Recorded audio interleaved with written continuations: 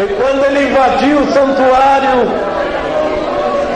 ele começou a dizer: Deus veio de Temã, o santo do monte de Parã. Ele começou a perceber a chegada de Deus. E na tua vida tu vai perceber a chegada de Deus. Quando a boca dos leões se fechou, Daniel começou a perceber a chegada de Deus.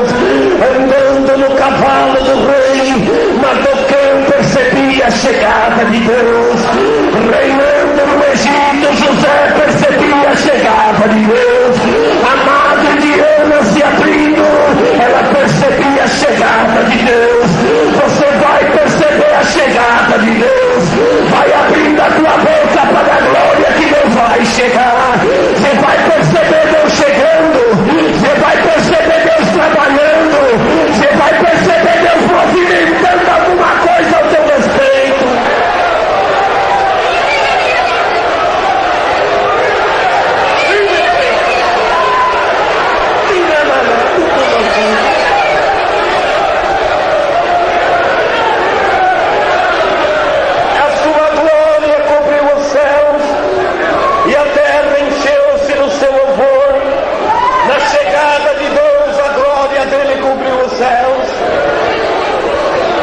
e a terra encheu-se de louvor.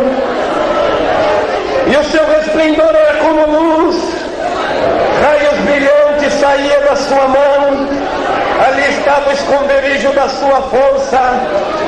Abacuque viu Deus chegando como um resplendor, e ele viu que raios de luz saíam da mão de Deus. Ali estava o esconderijo da sua força, o teu glória é raios de luz que sai da mão de Deus. O teu glória faz a mão de Deus fortalecer, a tua linguagem faz a mão de Deus fortalecer.